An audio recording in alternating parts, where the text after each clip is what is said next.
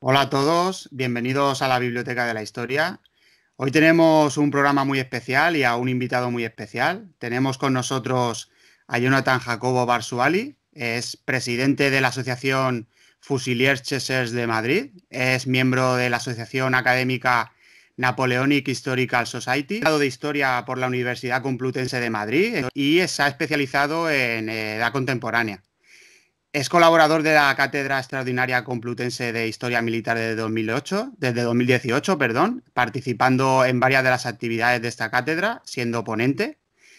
Es asesor y colaborador de la Casa del Recreador. Eh, ha sido becario en la revista de Historia Militar Despertaferro y también es miembro del grupo Divulgadores de la Historia. Sus trabajos, sus últimos trabajos son Un día de niebla a las afueras de Sebastopol, La batalla del río Chernaya, y el estatus de la mujer en las guerras carlistas, el caso de Francisca Warch y la Tercera Guerra. Bienvenido, Jonathan. Muchísimas gracias, eh. Muchísimas gracias por tu presentación, por invitarme al programa. Me siento muy halagado y realmente reconfortable ver que, bueno, que hay eh, divulgadores y, cuentas que, que, invitan a los jóvenes y que les dan la oportunidad de expresarse de cara al público y a los amantes de la historia. Así que, en primer lugar, muchísimas gracias por tu presentación y por invitarme. Para mí es un placer porque ya sabes que aquí en la Biblioteca de la Historia la principal función es la divulgación y, nada, por eso es un placer que, se acerquen eh, gente tan apasionada por la historia, con, tantas ganas por divulgar y, por aprender. Bueno, eh, has venido a la Biblioteca de la Historia a, cómo no, a hablarnos de historia. Eh, pero eh, en unos momentos nos, contarás una historia muy curiosa. Pero antes, y como presidente de la, Asociación Fusilier Chesser de Madrid, eh, quiero que nos cuentes en qué consiste esta asociación y, qué actividades realizáis. Por supuesto, Gerian, por supuesto. Pues mira, en primer lugar, como presidente de Fusiliers Chesser Madrid, lo primero y lo que estoy obligado a decir es que es una asociación surgida desde la juventud, desde la juventud universitaria por 2017, una asociación cuyos objetivos era la divulgación neutra de la historia napoleónica, porque como sabes, eh, todas las historias y todas las historiografías, nunca mejor dicho, tienen su leyenda negra. Hay una leyenda negra sobre la guerra de independencia española por ambos bandos y, y todos los contingentes. Hay leyendas negras en la época de los tercios, hay leyendas negras en la etapa del descubrimiento y conquista de América, ¿no? Y entonces nosotros eh, lo que queríamos era eh, explicar desde una nueva perspectiva joven, que no existía, eh, no solo desde esa vieja escuela ya de veteranos que ya no se molestan en expresar la historia de cara a la juventud, sino que se quedan en ese círculo, se encierran y trabajan para sí mismos. Pues nosotros hemos querido salir de esos círculos y hacer llegar la historia a todos y a todas y para todos los públicos y para todas las edades, ¿no? Entonces, eh, actualmente ya no somos todos universitarios, tenemos muchos socios de todas las edades y diferentes índoles, pero efectivamente pues somos una asociación que en un principio surgió como estudiantes universitarios centrados en la Universidad Complutense de Madrid y en otras universidades como la Autónoma de Madrid para estudiar la guerra de la independencia. Somos una asociación que hace conferencias, eh, directos, charlas, debates, coloquios, pero que también eh, rompe los esquemas tradicionales de asociación universitaria o eh, cultural y académica porque tenemos actividades de recreación histórica. esto lo tenemos porque muchos de nuestros compañeros son historiadores o personas que estudian las guerras napoleónicas, pero uno de nuestros objetivos vitales es entender cómo vivían las tropas, unidades, hombres, mujeres y niños que estudiamos en nuestro día a día para artículos, conferencias y demás. La recreación histórica es un elemento vital para esto. De hecho, tanto es así que está eh, surgiendo una corriente de recreación histórica academicista, eh, perdón, donde pues, se hacen trabajos científicos para ver ese eh, estatus que llega casi a alcanzar de arqueología experimental la recreación histórica, porque al final lo que estás haciendo es meterte en la piel y en la casaca y en la ropa de una persona de hace 200 años, nunca mejor dicho. Aparte de estas actividades de recreación histórica, pues como vengo diciendo, ahora mismo, eh, debido a las circunstancias de la COVID-19 que tanto nos asolan a todos, pues eh, estamos eh, realizando sobre todo conferencias online, vídeos divulgativos, estamos, separamos nuestros contenidos en contenido para público universitario, focalizado muy centralizado y contenido para público genérico. Hemos desarrollado el año Napoleón 2021. Como a lo mejor saben muchos de los seguidores, eh, pues el año napoleónico 2021 será este año porque hacen 200 años de la muerte de eh, Napoleón I Bonaparte el 5 de mayo de 1821. En este caso, 1821-2021, 200 años. Es una actividad que nos hace mucha ilusión que eh, cuenta con el apoyo institucional de numerosas eh, universidades, equipos de investigación y profesores de diferentes índoles, como de el Souvenir Napoleonien o eh, la Universidad de Alicante, la Universidad de Oviedo, la Universidad Complutense. el Instituto de Historia y Cultura Militar recientemente nos ha dado su apoyo público también para, para las actividades del año napoleónico 2021 y bueno, llevamos ya unas cuantas que están disponibles para todo el que desee eh, visionarlas en nuestra página web y en nuestro canal de YouTube, que eh, bueno, recibe por nombre eh, Fusileros Chasseurs Madrid. Sería poner en castellano Fusileros Cazadores Madrid, traducirlo al francés, buscarlo en, redes sociales, en YouTube, y estamos en todas las redes sociales y ahí están disponibles las actividades colgadas. Dejaré los enlaces en la descripción del audio, dejaré los enlaces para que todo aquel que se quiera acercar a, la página web y al canal de YouTube eh, lo tenga más, más a la mano. Genial, muchísimas gracias. Y bueno, y en relación a estas últimas actividades, pues ahora tenemos, por ejemplo, eh, entrevistas sobre eh, figuras y personajes históricos. Hemos también contactado con personas del mundo napoleónico como por ejemplo la empresa de turismo napoleónico, el primero de eh, que recientemente ha publicado también un libro sobre la batalla de Austerlitz. Entonces le hemos entrevistado sobre la batalla de Austerlitz, los acontecimientos y figuras concretas. Hemos hecho lo mismo con, por ejemplo, especialistas en música militar de las guerras napoleónicas. Tenemos también, de cara a un futuro, eh, a lo largo de este año napoleónico 2021, tenemos entrevista sobre eh, Rosa Bonheur, un artista de época de Napoleón III, tenemos una entrevista también sobre los hermanos Palafox, tenemos una entrevista sobre el, oficial francés, el mariscal Suchet, que estuvo eh, en el Levante español, y sobre otras figuras muy enigmáticas. También eh, tendremos conferencias sobre las influencias de la iconografía romana en las guerras napoleónicas, tendremos eh, una conferencia también sobre las reales guardias españolas en, época de Fernando VII, un poco de todo. ¿no? Lo que se puede ver es que a pesar de que la asociación surgiera focalizándose en el estudio de eh, lo francés en la guerra de la independencia, tratamos todo, ¿no? porque la idea es eh, tratar todos los elementos de una manera neutra, ¿no? eliminando esos, esas ideas preconcebidas que tiene gran parte de la población sobre la guerra de la independencia. Y para eso no hay nada mejor que contactar a historiadores que traten el mismo tema desde diferentes ópticas y sobre diferentes puntos, unidades militares, la música, la sociedad, que son varios de los temas que trataremos en, estas conferencias y entrevistas. Como ya digo, tenemos algunas ya eh, publicadas y eh, bueno, y ya lo que es lo, lo más gordo del año napoleónico es que vamos a proceder a la publicación de nuestra revista eh, en nuestra página web el 5 de mayo de 2021, que cuenta con el apoyo oficial de la Asociación Napoleónica Española y, como bien he dicho ya, del Instituto de Historia y Cultura Militar. Y bueno, y contará con, con actividades realmente eh, interesantes, como, eh, perdón, publicaciones realmente interesantes, como por ejemplo Japón en las guerras napoleónicas, la campaña de Rusia de 1812, el 2 de mayo, y, por ejemplo, la relación de la Revolución Francesa con los elementos de la antigua Grecia y eh, la antigua Roma, que son, bueno, elementos que yo creo que llaman bastante la, atención al público. Esto yo creo que por encima es lo que puedo contarte eh, para no, sobre todo, abrumar al público y al espectador sobre las actividades que, estamos desarrollando y conferencias, etcétera.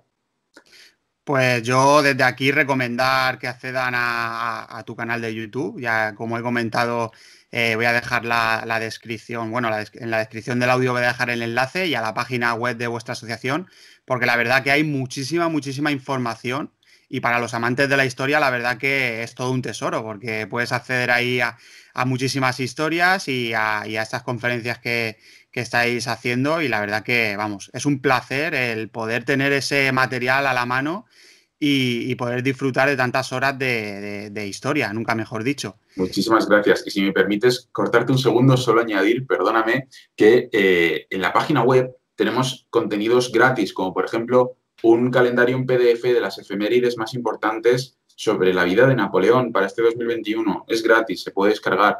Tenemos la cronología del siglo XIX español totalmente gratis en la página web.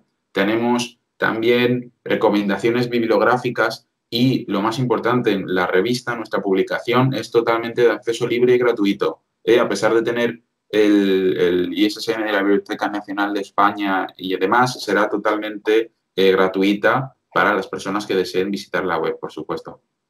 Pues como siempre digo cuando, cuando mes a mes en el grupo de divulgadores de la historia publica su revista gratuita, eh, vosotros estáis haciendo lo mismo y como siempre digo, no hay excusa para, aprender historia, porque tener tanto material gratuito al alcance de la mano, la verdad que, es un lujo. Eh, bueno, Jonathan, eh, nos has traído una historia muy interesante y curiosa a la vez.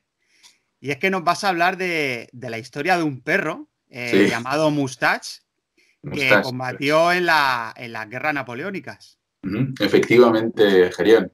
Eh, me ha parecido una historia de estas que tienes eh, encerradas en, el cajón de los recuerdos y eh, me ha parecido realmente llamativa e interesante para, esta actividad, para esta entrevista. De hecho, es una historia que solo he contado una vez, hace casi más de un año, casi dos, y es muy, muy llamativa. En España no la conoce mucha gente, pero es vital para nuestra historia porque está muy ligada a Badajoz sobre todo a Badajoz, ¿no? A esas tierras extremeñas donde este perrito, este can, que se recibía por nombre Mustache, luchó y combatió. Bueno, eh, en primer lugar, Mustache, los, los amigos de la Gran Armée, del Gran Ejército, tienen un gran sentido del humor para los nombres que ponen a, sobrenombres que ponen a sus eh, armas, a sus fieles compañeros, en este caso canes, perros, y eh, tenían todo tipos de vocablos para sobrenombres sobre suboficiales y, demás, ¿no? En este caso, mustache, como bien se habrán dado cuenta muchos de ustedes, de las personas que nos están siguiendo, eh, eh, significa bigote. bigote y además lo más curioso es que otro ejemplo de, esta de estas tonterías, ¿no? de estos sobrenombres que ponían las tropas francesas a sus elementos cotidianos, es que, por ejemplo, el briquet el sable de, menor tamaño que llevan en la espalda solamente las unidades de élite como complemento al fusil eh, Charleville 1777, eh, se llamaba briquet. Briquet significa mecherito en francés. ¿Por qué? Pues porque el sable era tan pequeño que les parecía ridículo y decidieron llamarlo mecherito. Bueno, yendo por la línea de Mustache. Mustache es solo un ejemplo de eh, la fidelidad del perro al, del can al hombre a lo largo de miles de años de historia. Como bien sabemos ya desde época prehistórica, este tipo de animal ha eh, fomentado la caza y el trabajo en equipo para la supervivencia con el ser humano. Entonces voy a empezar por los perros en la guerra. Los perros en la guerra los encontramos en la Guerra de los Siete Años, en la Guerra de Independencia de Estados Unidos, en la Guerra Franco-India, integrada propiamente dentro de la Guerra de los Siete Años, en guerras napoleónicas, Sabemos de personajes solemnes e importantes que desembarcaron el día de incluso en Normandía con eh, su mascota, pero sobre todo, por ejemplo, también lo encontramos en las guerras coloniales de Santo Domingo, en la conquista de América con los castellanos, ¿no? Y bueno, em, esto hay una costumbre de usar eh, mascotas regimentales que eh, a finales del antiguo régimen lo, empiezan a introducir los austríacos. ¿no?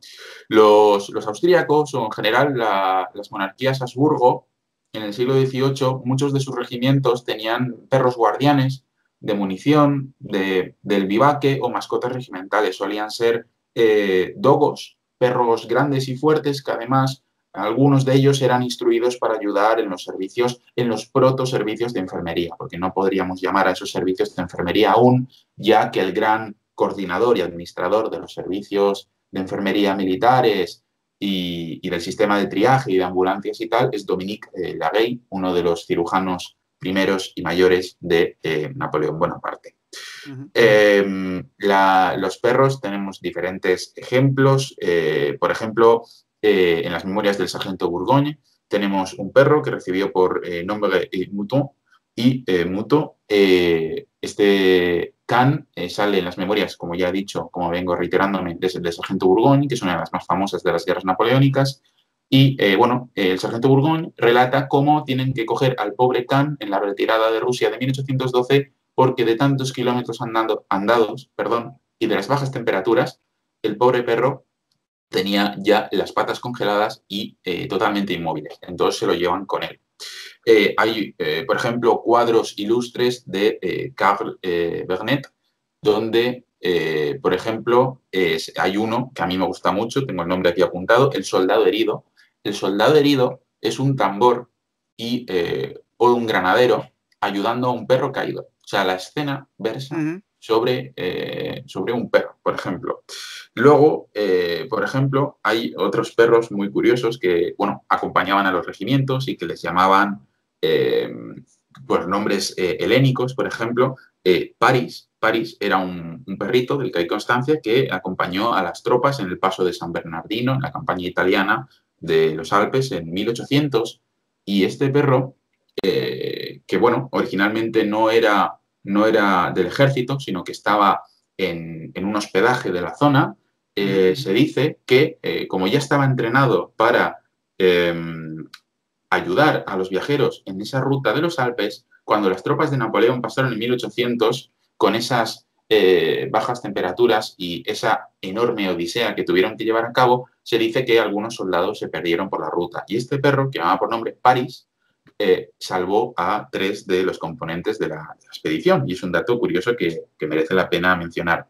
Pero si nos vamos incluso un poquito antes a la campaña egipcia de Napoleón de 1798, eh, se sabe por escritos entre el general eh, Clever y, eh, bueno, y Napoleón que este Napoleón, cuando se encuentra en, en Alejandría, recomienda por las pequeñas escaramuzas y ataques por la noche que sufrían de la población local, llevar perros guardianes hacer diferentes pelotones que se movieran pues, por, diferentes tipos de escuadras, eh, movilizándose y contar siempre con la ayuda de, perros en las patrullas, ¿no? Lo que nos recuerda un poco incluso a la Policía Nacional de hoy. Luego hay otras historias realmente curiosas, como en la noche de bodas de Napoleón y Josefina antes de partir a la campaña italiana. Josefina contaba con una pequeña mascota que recibía por nombre eh, y eh, hizo una cosa que eh, a Napoleón le dejaría eh, marcado el resto de su vida. Y fue en el momento en el que yacía con su esposa morder a eh, Napoleón. Es decir, la noche de bodas, en medio de aquella pasión, el perro dejó un recuerdo a Bonaparte en su pierna para el resto de su vida. es un elemento muy curioso. aquí en España solo lo ha tratado creo que el, único divulgador que lo ha tratado es el Rincón de, Byron, porque lo encontré también en su blog leyéndolo un día, me llamó bastante la, atención. Pero bueno, hay muchas historias de animales y el ser humano en campañas militares y en elementos cotidianos muy, muy, muy curiosos. Pero ahora vayamos a mustache, a bigotes o bigote. Eh, se duda incluso de su raza. Hay numerosos escritos donde se menciona a mustache de manera directa, tanto indirecta, pero no se sabe si era un barbet un caniche. Muchas eh, personas eh, especializadas en literatura tradicional francesa, en lo cotidiano, en la sociología, piensan que lo normal es que fuera un caniche, porque era más común encontrar a caniches que a, que a barbets o a dogos o a labradores, etc. Yo lo dejo eh, a la interpretación libre de cada uno de los espectadores, porque yo no me atrevo a decir qué raza es, porque incluso en las representaciones pictóricas, hay representaciones en las que ni es un barbet ni es un caniche, ¿eh? que podría ser perfectamente un pastor belga o, demás. Em, bueno, eh, lo que sí sabemos por las obras escritas es que, eh, bueno, hay un gran conjunto de escritos sobre Mustache justo antes del gobierno de Felipe de Orleans, entre 1820 y 1826. Y luego, con las grandes unificaciones nacionales, eh, Francia, eh, Italia, los estados alemanes, ¿no? Eh, la de Napoleón III, la década de 1860, afloran otra vez los escritos sobre Mustache, porque Mustache no deja de ser un héroe nacional francés mm. desconocido por los propios franceses, a pesar, bueno, de lo que voy a, contar ahora, ¿no? Bueno, eh, se cree que nace en Normandía en 1799 y eh, se ve que vivía como perro guardián de algún eh, tendedero que vendía productos de primero, primera necesidad perdón, y que este tendedero se ubicaba en Caen. Eh, como vengo diciendo, pues en uno de estos días que Mustas vigilaba las pertenencias de su dueño en el mercado, un pelotón de... No se especifica si es una media brigada entera o un pelotón, pero un pelotón que de granaderos, es decir, tenemos los regimientos, dentro de los regimientos hay batallones, dentro de los batallones hay compañías y las compañías se forman por, cuando tú divides una compañía en grupos de hombres, son pelotones. Pues un pelotón o una compañía de granaderos, no lo sabemos, desfila por Caen y Mustas, al ruido del tambor epífano de compañía, sigue a este grupo de soldados hasta su vivaque, hasta su cuartel. Cuando he dicho antes, esto es interesante mencionarlo, he dicho media brigada, y entonces los espectadores se preguntarán, ¿cómo que media brigada? ¿Será regimiento? ¿Será brigada, no media brigada? No puedes partir una brigada por la mitad. Bueno, es que la media brigada es un sistema militar que inicia la República Francesa en 1793 y que termina en 1803, siendo unas unidades que combinaban artillería, infantería y la cantidad de batallones se organizaban de una manera distinta a cómo se organizaban los regimientos a partir de 1803. ¿no? Entonces, si alguien busca en Internet media brigada, podrá encontrar, por ejemplo, botones de las guerras de la Convención y del directorio, donde pone, por ejemplo, 99 media brigada, 100 media brigada, 60 media brigada, y hay, bueno, medias brigadas pues de de infantería ligera y de infantería de línea. Qué curioso. es una organización militar que duró pocos años, pero se llevó a cabo incluso durante la época de Napoleón como cónsul y que de hecho estuvo activa en la campaña de Santo Domingo de 1802. Em, bueno, volviendo a Mustas, porque si no voy a, voy a pasarme con el público de demasiados datos. No, no, al, revés. Esto pues, es información muy valiosa. Perfecto. Pues entonces, eh, bueno, Mustas sigue a este pelotón que forma parte de una media brigada, en concreto a la compañía de granaderos. Entonces, eh, se sabe que eh, el jefe de batallón de ese momento da permiso a eh, que el CAN acompañe a las tropas. ¿Y por qué digo que da permiso a que el CAN dé permiso a que el CAN acompañe a las tropas?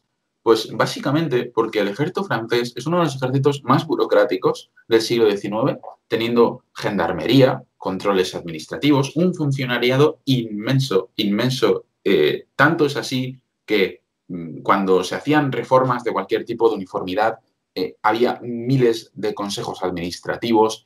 Eh, como curiosidad, un regimiento francés tiene un elemento que se llama libreta de administración, que lo tiene el jefe de batallón. Hay Consejo de Administración Regimental, hay Consejo de Administración de Batallón, todos estos pues recopilan una documentación inmensa.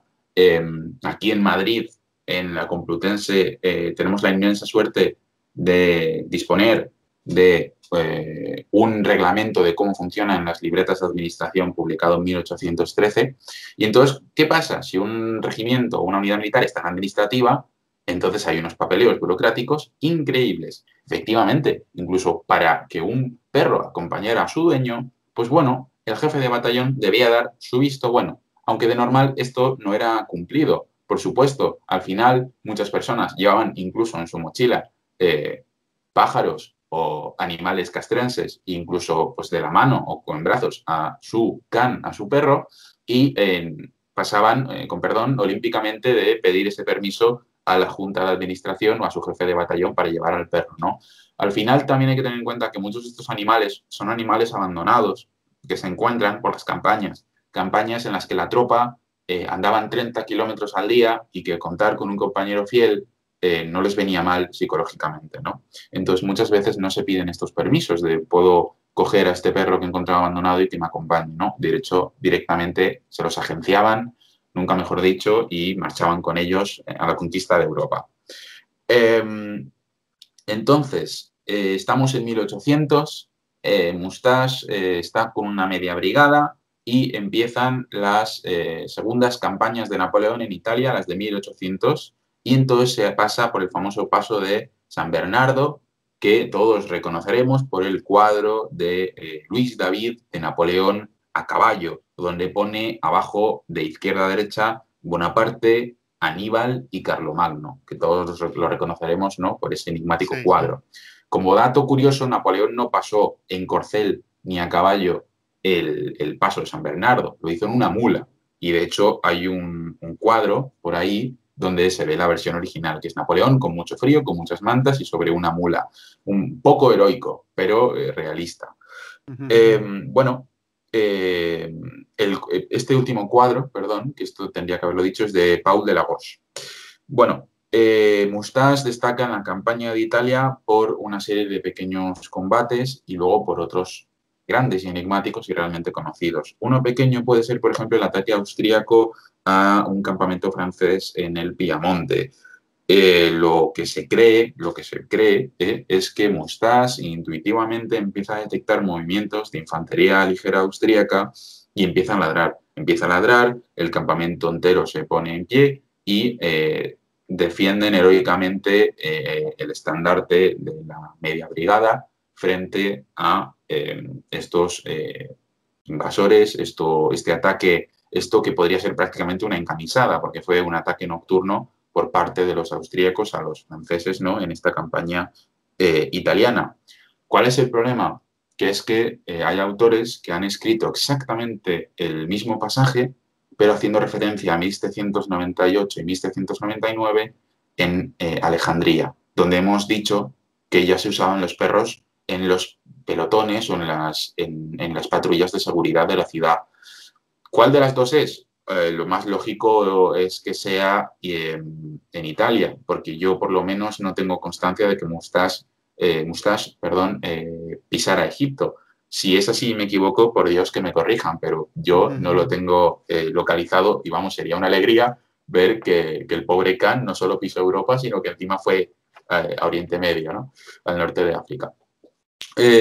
bueno, ¿qué es lo que pasa? Que por esta defensa del campamento en el Piamonte, el coronel de, eh, ese batallón decide que Mustache debe de recibir el cargo de granadero, las comidas y la, asesoría, la asesoría perdón, y el cuidado del barbero del batallón.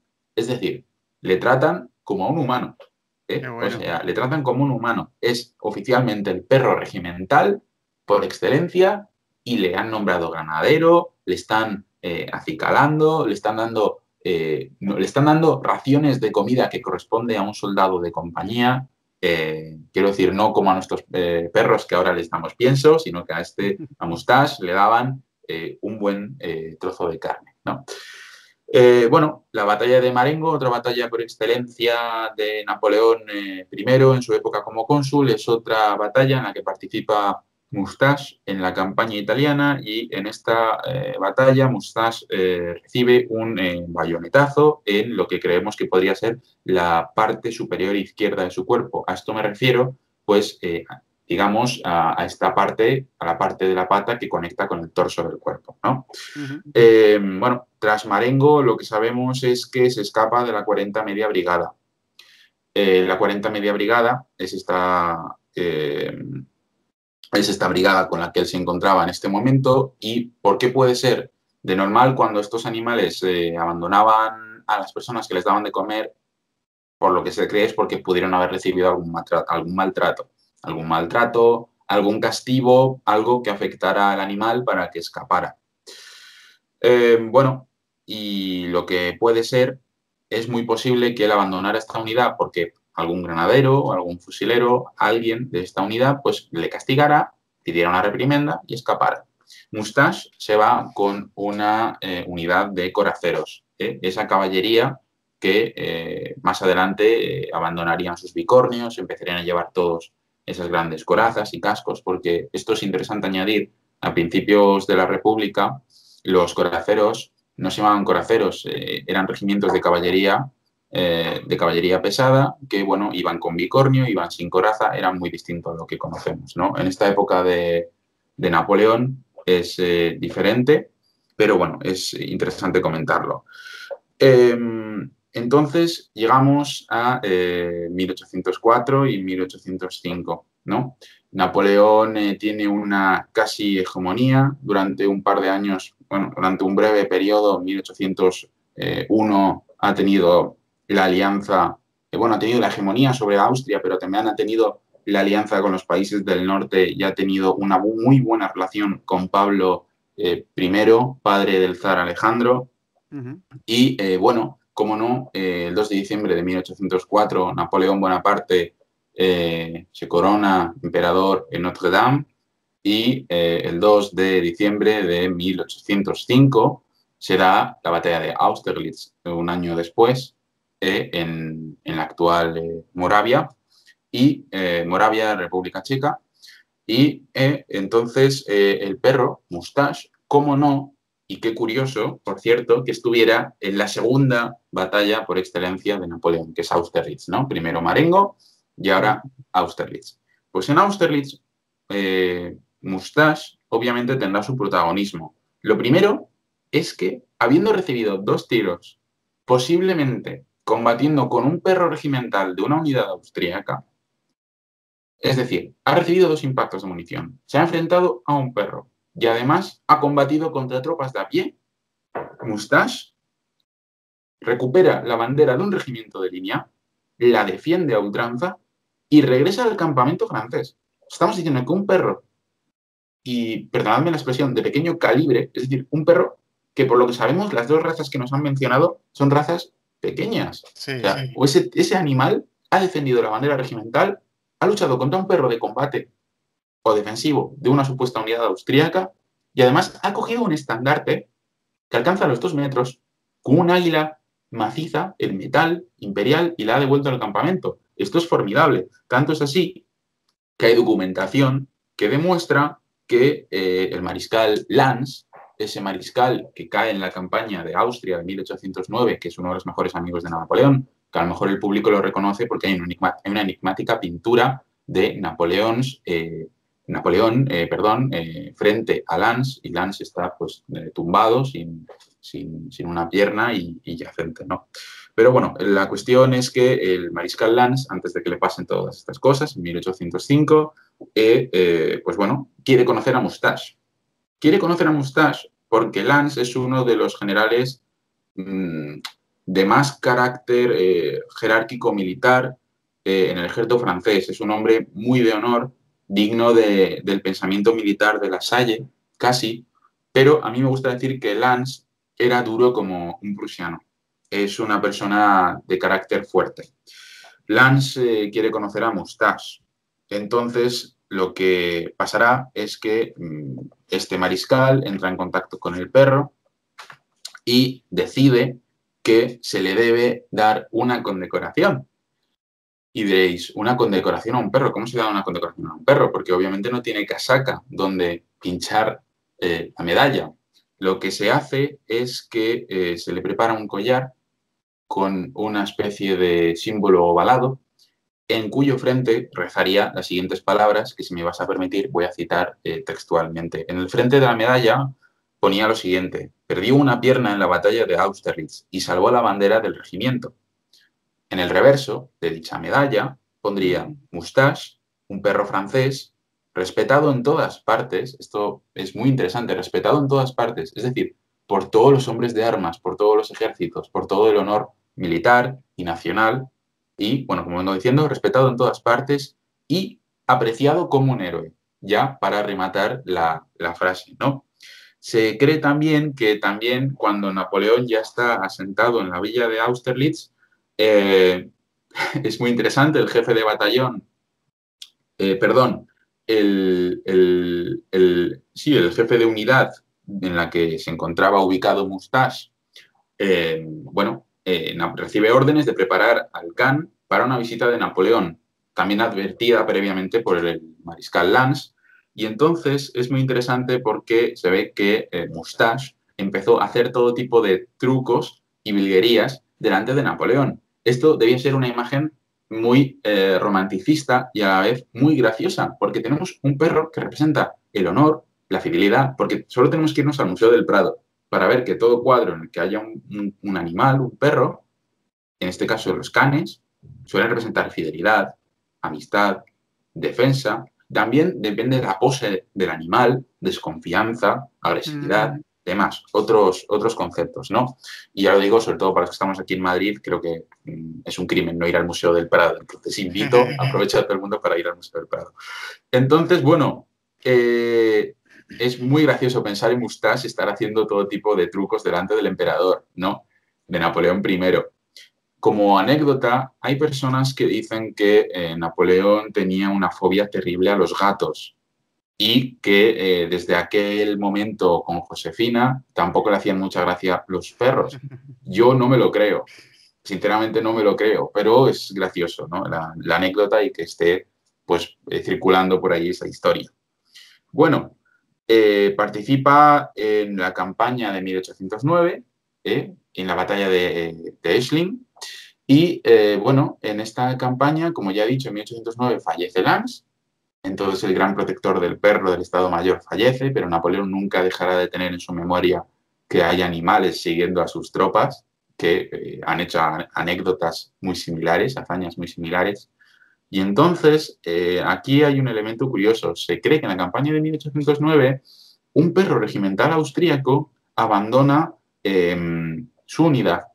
Se pierde un regimiento francés lo acoge y parece ser que eh, Mustache, al igual que los seres humanos, tiene esa capacidad de enamorarse perdidamente y tienen cachorros, de hecho, que se cree que se redistribuyeron por otras compañías y pelotones.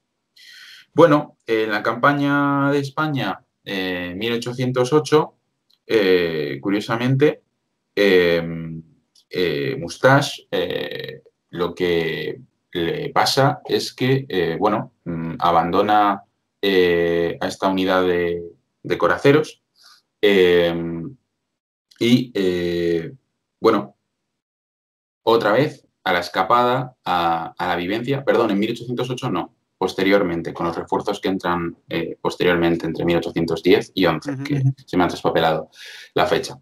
y entonces, bueno, ¿qué sabemos? Sabemos que abandona a los coraceros y pasa a otra unidad de caballería. Dragones. Dragones los dragones son una unidad muy, muy, muy curiosa porque visten y actúan como una unidad de caballería ligera, pero llevan componentes de caballería pesada, empezando por el yelmo hasta el sable, porque los dragones llevaban un, eh, sable de coraceros. Y eh, bueno, eh, sabemos que hay una serie de combates en Sierra Morena, y en estos combates de Sierra Morena, Mustache eh, toma parte activa en ellos y se cree que su papel en esos combates era eh, coger, recoger, empujar en una dirección a todos los equinos, a todos los caballos y llevarlos de vuelta al campamento. Eh, al final, muchos de los datos de Mustache quedan entre la leyenda y la realidad, pero por ejemplo, sabemos que datos como los de la medalla son ciertos. Entonces no dejan de ser empíricos porque tenemos unas fuentes, en este caso terciarias, basadas en el primer imperio, que nos indican que son elementos reales. ¿no? Bueno, eh, tiene otros menesteres y aventuras a lo largo de la campaña de España, pero sobre todo vemos que participa en el sitio de Badajoz de 1811. entre 1811 y 1812 en España hay otras batallas muy importantes, como la que está comentando ahora eh, nuestro compañero Armando Marcos en nuestras redes sociales de la asociación, como puede ser el sitio de Sagunto entre 1811 y luego el sitio de Valencia en 1812. ¿no? Pero bueno, vayamos a, Badajoz. En Badajoz, en, 1811, lo que sabemos es que mm, eh, toma parte activa de este combate y cae en acción. La cuestión es la siguiente. Em, sabemos por la Sociedad de Amigos del Patrimonio Napoleónico, ellos han ubicado que Mustache muere el 11 del 3 de 1811. Sin embargo, otras anécdotas nos indican que Mustache cae en combate en el segundo sitio de Badajoz, es decir, en el de 1812 y no en el de 1811. Em, esto es una incógnita, por supuesto, porque ¿esto qué significa? Si Mustache participó en uno de estos sitios fue en, en el ataque, si participó en el otro fue en la defensa. Por lo que queda un poco disperso el elemento de cayó sobre la muralla o cargando a la muralla hay una connotación distinta, en mi opinión, ¿no? Sobre todo porque al ser un animal, si estás quieto en la defensa, haces menos que cargando contra un enemigo que está en una muralla, derribada, por supuesto, pero con rampas, escalas, etc. ¿no? Em, cuando pasa un tiempo después eh, y vuelve la restauración de Fernando VII, lo que se encuentra es que, eh, obviamente, como sabéis, eh, la Inquisición no había desaparecido con la Constitución de 1812, pero sí había caído su fuerza y había estado en menor medida presente, es decir, casi no estaba presente. Pero lo que hace Fernando VII es que, bueno, vuelve a imponer esta institución religiosa y que se encuentran cuando se instauran en Badajoz otra vez se encuentran con que hay una tumba. Y una tumba en francés dedicada a un animal que ha eh, combatido contra Fernando VII, contra los ingleses, contra los ejércitos que luchaban por la Constitución del 12 o por Fernando VII, depende del momento. Y entonces esto no puede ser. ¿Cómo va a recibir un animal las mismas condiciones que un humano en suelo español que ha sido la victoria sobre el invasor francés. Entonces, ¿qué hace la Inquisición?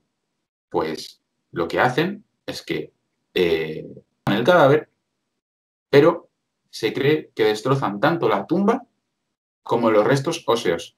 Es decir, hoy en día no podemos eh, velar a Moustache en ningún sitio a no ser que vayamos a París, ya que la Asociación de Amigos del Patrimonio Napoleónico, una organización francesa, pues le dedicó una placa en un eh, cementerio animal a las afueras de París. No deja de ser curioso e importante el hecho de que un símbolo de heroísmo, en este caso representado por un animal, sea destruido por la Inquisición para eh, eliminar todo rastro, todo rastro perdón, de honradez, honor militar y etcétera por un enemigo vencido y expulsado. ¿no? Y bueno, esto sería la, historia resumida, muy resumida, de Mustache, el perro que, luchó en las campañas republicanas, en las consulares y en las imperiales, destacando, eh, pues, eh, como hemos dicho, Austerlitz, eh, luego las campañas de Austria en 1809 y luego la etapa en la que vienen refuerzos franceses entre 1810 y 11 a España porque la situación eh, corre un riesgo inmenso. Por otro lado, Mustache tiene la inmensísima suerte, al contrario de sus compañeros, de no estar en campañas como la rusa, porque posiblemente la historia de Mustache, aunque acaba en el mismo año que la de muchos de sus compañeros que asisten a la campaña de Rusia, en este caso en 1812, ya que tenemos la posibilidad de que Mustache puede que muriera en 1812, pero de momento nos quedamos con 1811, pues bueno, tiene la inmensa suerte de no asistir a la campaña de Rusia, ¿no? Eh, es un elemento eh, realmente curioso. En España tenemos las memorias de Eleazar Blasé, que escribe eh, La vida bajo el primer imperio francés y La vida militar bajo el primer imperio. Es el nombre exacto, si no me equivoco yo. Y entonces él, en estas memorias que vienen a ser eh, parecen más un manual de historia que unas memorias, porque son unos volúmenes muy, muy grandes y, son, son inmensos. Y entonces nos muestran detalles tan curiosos como la fascinación que teníamos los españoles en 1800 por los galgos. Eh, sobre todo, también se ve a tropas francesas que adoptan a galgos abandonados por eh, españoles, porque el galgo siempre usó, fue usado como un elemento de, de caza eh, de, los hidalgos y de la, baja nobleza, pero también de la alta. Tanto es así que el propio Carlos IV aparece con muchos galgos en varias de sus representaciones, ¿no? Y sabemos que a Carlos IV le encantaba cazar, por lo que a los galgos los debía de tener en un pedestal. Eh, y bueno, muchos galgos también en la campaña de España acompañan a, las tropas francesas, porque son animales ahí abandonados, ¿no? Y volvemos a lo que yo decía del inicio, que suelen ser muchísimos de ellos, de estos animales, perros abandonados, ¿no? Pero bueno, esto es un poco lo que yo quería comentaros, comentarles a todos ustedes y al, canal de, Gerión sobre la, anécdota animal en las campañas militares napoleónicas. ¿no? Obviamente, eh, también tenemos que tener en cuenta que cuando miramos al pasado no era tan diferente como hoy. Quiero decir, hay aspectos psicológicos que cambian, pero otros que no. Es decir, mm, hay rasgos diferentes de madurez o inmadurez, de cómo afrontar situaciones trágicas, pero lo que sí puedo admitir es que si un ser humano hoy se puede enamorar perdidamente, eh, establecer una amistad con, uno de estos animales, pues de igual modo pasaba en las campañas militares donde tanto sufrimiento había y acaecía sobre, sobre estas personas y obviamente, como me vengo diciendo a lo largo de, toda esta actividad, pues eh, tanta falta les hacía falta, eh, nunca mejor dicho, tanta falta nunca les hacía falta. Eh, y, bueno, al final, pues lo, que, lo que hace el, factor de, de, ese animal de compañía, ¿no? que les aumenta la moral en esas inmensas marchas y, en todos esos arduos caminos que recorrieron por toda Europa. Europa perdón. Mm, mm. La verdad, que sí, es una historia muy curiosa y, bueno, no sé, yo no, yo no la había oído nunca. Cuando me lo comentaste, eh, busqué información sobre, sobre Mustache y, la verdad que, me llamó mucho la atención. Eh, aquí en la Biblioteca de la Historia hemos traído ya la historia del perro, el perro de guerra, y la verdad que a los oyentes les interesa mucho, así que estoy seguro que, este programa les, va a gustar bastante. Y, bueno, antes de finalizar, eh, me comentaste que querías hablarnos sobre la asociación Le Souvenir Napoleonien, de la cual eres, eres corresponsal, ¿verdad? Sí, efectivamente, el, Souvenir Napoleonien mm. eh, tuvo eh, un, bueno, para mí me brindó el, el honor de eh, aceptar el puesto de representante de su presidencia eh, aquí en, lo que ellos denominan el distrito o región Madrid, España. Es una fundación que, bueno, yo quería también hablar aquí de ella porque viene a ser la fundación napoleónica más antigua de la historia europea, ya que data de 1937. Desde 1937 han estado, puesto, han estado poniendo y ubicando eh, cientos de estelas eh, láminas y conmemoraciones desde eh, el antiguo sitio de Acre, en la campaña eh, sirio-palestina de Napoleón, mm. hasta pues Fontainebleau, con los adiós de, el adiós de Fontainebleau de Napoleón, pues han seguido todo el recorrido napoleónico internacional europeo. Ahora, de hecho, gozan del gran mérito de ser unos de los máximos responsables de la repatriación de eh, los restos mortales del general Gudín entre 2019 y 2020. Este es un general que cayó en la campaña de, eh, Rusia de 1812 en la etapa de verano en los muros de Smolensk, Smolensk, y bueno, han traído sus restos mortales a Francia. Hace poco han descubierto, hace poco han descubierto su espada.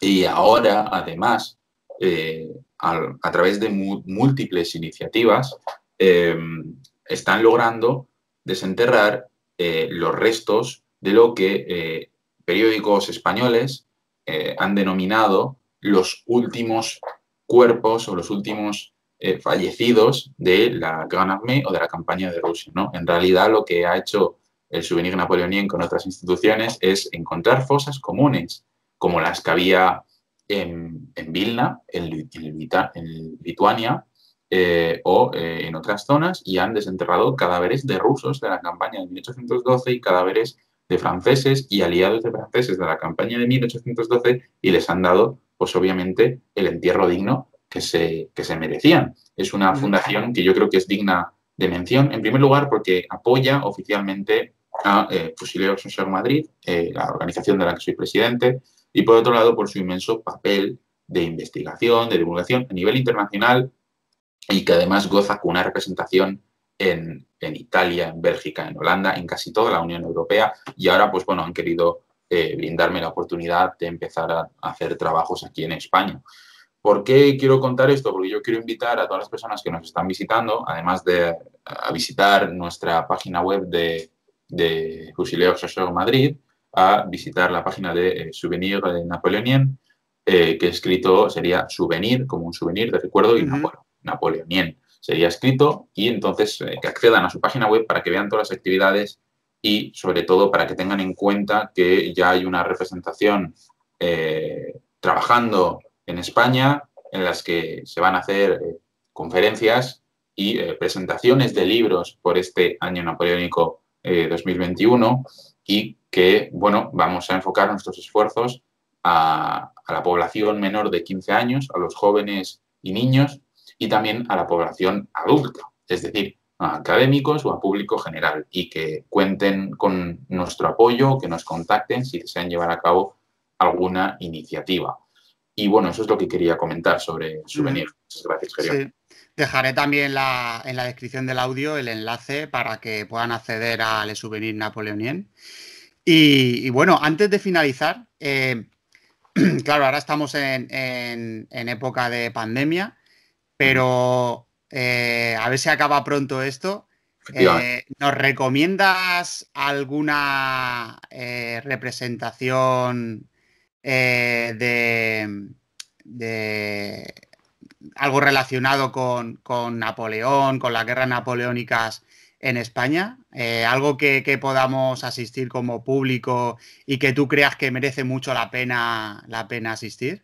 Pues eh, sí, hombre, si, si, me haces así la pregunta, el problema es que te diría cientos de cosas, porque al final, eh, como es un tema tan enigmático y que en mi caso personal pues me encanta, pues te recomendaría miles de cosas, ¿no? Pero en primer lugar, me, me vais a, a, perdonar a todos los que no podáis acceder pero eh, en el caso de actividades en persona, os voy a recomendar siempre, siempre eh, que eh, los que viváis en Madrid o en Salamanca, contactéis al primer edecán, esta empresa de turismo napoleónico con la que hemos trabajado ya, porque respeta las medidas de seguridad y puedes visitar desde el 2 de mayo hasta el Madrid de José Bonaparte, hasta la batalla de los Arapiles, y son actividades pues, con las medidas de seguridad correspondientes en esta etapa de pandemia en persona. Luego, eh, de cara a todos los demás, sí que les recomiendo, por lo menos, eh, asistir a nuestras conferencias, sobre todo si son público joven, porque eh, tratamos de enseñar ese contenido histórico que a lo mejor a los maestros no les da tiempo de, de enseñar en las aulas. Y hemos recibido mucha población universitaria que, eh, bueno, nos han agradecido encarecidamente tratar todos esos temas de guerras napoleónicas o de Napoleón, pues que no da tiempo a dar en las universidades o en las grandes clases magistrales de, las aulas académicas, porque al final la historia es inmensa y si pretendes dar toda la historia de la humanidad en cuatro años, es misión imposible, que es lo que dura el grado en, en, historia. Pero a pesar de ello, se aprende muchísimo, aprendes el método científico y el empirismo, que es lo más importante, ¿no? Pero efectivamente yo recomendaría a nuestros seguidores eh, estar atentos a la actividad del 5 de mayo, que se publicará en, redes sociales, donde se hará un seminario de presentación de la revista que contará con, dos conferencias y la presentación de la propia revista. Todo esto totalmente gratuito, será online. Y si no, pues eh, al gusto del consumidor, como se suele decir, ¿no? que visiten nuestra página web porque hay una amplia gama de diferentes tipos de conferencias y, actividades y es que muy, muy variadas. Entonces, Gerión, tú me dices, recomienda una y yo digo, es que no puedo, no puedo porque hay muchas actividades y claro, cada una pues eh, depende de tus gustos, puede gustarte más o menos, ¿no? Claro. Bueno, pues eh, recomendar a todos, a todos los amantes de, la historia napoleónica eh, la página web Fusilers SS de la asociación. Y, nada, la verdad que ha sido un placer tenerte aquí, que nos acerques este capítulo de la historia, el de Mustache. Y bueno, y darte las gracias por la labor que realizáis, tanto en la asociación como tú en tu canal y, toda la información que dejáis a, todos los amantes de la historia gratuitamente y que podamos disfrutar de, tantos momentos y, de tantas horas de, disfrute. Muchísimas gracias, Gerión. Eh, gracias a ti por permitirnos usar este canal de comunicación con el público general, porque para nosotros es eh, vital e importante tanto como para el Souvenir Napoleonien como para la Asociación eh, Fusileros de Madrid, eh, es vital conectar con la población y como decía eh, hace muy poco en, Onda Andalucía, comentaba que queremos ser accesibles para la población y que si tienen alguna petición de un contenido histórico, que nos lo hagan llegar, porque con todo el amor del mundo trabajaremos en él y lo expondremos de cara a ese público. Así que otra vez, muchísimas gracias, Gerión, por eh, invitarnos y darnos a conocer de este modo. Pues gracias a ti y nada, animar a los oyentes a que dejen en la zona de comentarios cualquier pregunta o cualquier duda que les haya quedado o que quieran preguntar a, Jonathan. yo creo que él estará encantado de, asomarse por la zona de comentarios y, entablar diálogo con, los oyentes. Efectivamente, estaré realmente encantado y el debate siempre aporta más, nunca quita, siempre aporta. Exactamente. Pues un placer, Jonathan, y muchas gracias por asistir a la Biblioteca de la Historia. Muchas gracias, un fuerte abrazo. Un abrazo.